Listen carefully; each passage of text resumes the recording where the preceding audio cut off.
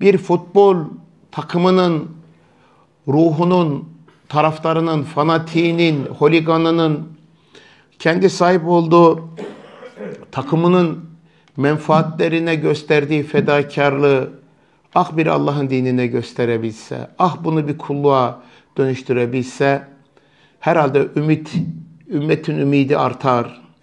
Bir gole sevindiği kadar bir mazlumun, bir müminin hayrına sevinemedi. Biz onlar kadar bu sevinci yaşayamadık. O coşkuyu yaşayamadık. Tabi bu işin bunun üzerine zaman zaman söylenen, söylediğimiz, belki söylenmesi gereken konulardır. Fakat bazı böyle ehli iman, ehli tevhid gördüğümüz kardeşlerimiz bile böyle sosyal medyada da bazen görüyoruz. Böyle e, kalplerinin bir köşesinde böyle yerleşmiş o cahiliyeden kalıntı. Tuttuğu takım e, yenince karşı tarafa laf sokuşturmaya, bunun üzerinden polemikler yapmaya, hani bu ne kadar e, doğrudur, yani bir takım tutulur mu, sevinilir, sevinilir mi?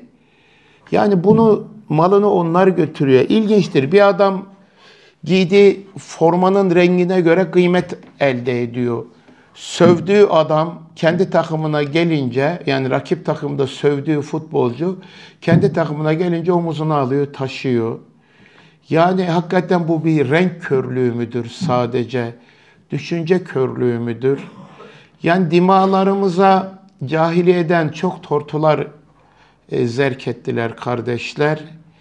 Yani bunların bu şekliyle böyle açığa çıkartılması, buradan böyle e, bir e, atışma, buradan bir övünme, bunlar müminlerin yapacağı işler değildir. Nefsini bastıramıyorsan hiç olmazsa içinde saklı tut, Allah'tan bunun için bir bağışlanma dile, bir çözüm yolu dile.